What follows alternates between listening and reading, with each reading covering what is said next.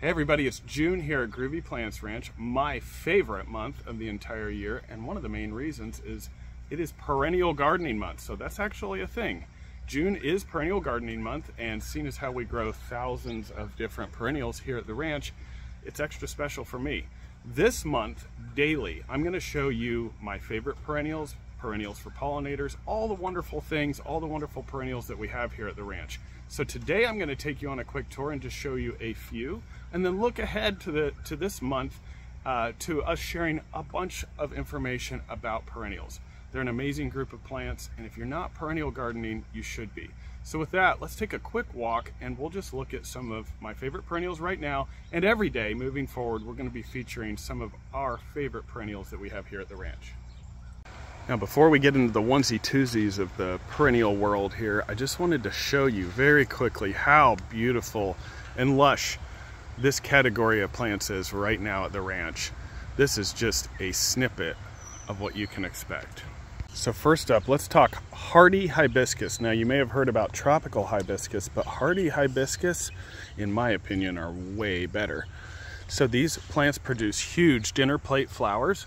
Now they're not blooming yet, but they will be fairly soon. So these are a late June bloomer and the first of our hardy hibiscus are out now with more coming and you can see they're beginning to develop buds. So we have these with the burgundy foliage. You can expect this plant to get easily four by four in the landscape and this is one of those plants that stops traffic because people just can't believe the size of the flowers. They're wonderful. Looking especially nice this week, the different mulleins. These are verbascum and a nice durable plant with a really showy early June flower display. Durable and easy to grow. Next up, Queen of the Prairie. Now, not in color yet, but what you can expect here from Queen of the Prairie on this amazing, gigantic native plant is smoky plumes of pink. So if you have a nice spot in the back of the garden where you can really let this plant do its thing. It's an amazing addition. It is a native plant and very well suited to our environment, so it will grow rapidly. This is a hard plant to find at garden centers and ours are really big and healthy. Now for full sun, I really like wine cups. Another durable, vigorous plant. This is a nice ground cover. This is one of those plants that looks good so long in the landscape that I just can't believe it. Every year when I encounter it, I'm I just stop in my tracks. It is just now coloring up, but here in a couple weeks, this will be a solid, uh, just covered in pink. I love the wine cups. For a full sun perennial garden, if you don't have coreopsis, you're just missing out. It's morning here. Everybody's still waking up.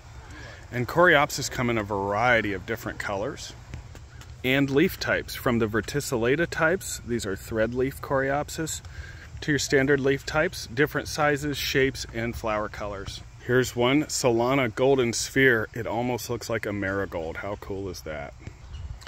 Penstemons. Now, there are too many amazing penstemons to mention them all, but let's just talk about Blackbeard here absolutely striking in the garden. Very, very durable, easy to grow in Midwest landscapes. This is a selection of native Penstemon digitalis and great for hummingbirds. An awesome addition and that dark burgundy foliage as you can see makes it stand out from everything else. And to round it out, let's talk about tall garden phlox. So here we have the fashionably early series and one thing I like about these is they do bloom earlier than standard tall garden phlox, but they rebloom really, really well, especially if you just give them a light cutback after their main flowering. You can get a long season of color out of these. And they are mildew resistant. I've actually never seen mildew on these, which is a very common problem for some of the older tall garden phlox varieties. So some wonderful choices here. And lastly for today, let's just talk about foxglove for a minute. A wonderful biennial, and that means you do want to let them self-seed in the garden so that you get successive generations. But few plants really have this amazing presence, quite like foxglove. Now there is Um, there is the Arctic fox here, which is more perennial than most foxglove. Regardless, let your foxglove go to seed in your gardens and you'll have successive generations of foxglove. They're amazing when they're in full flower.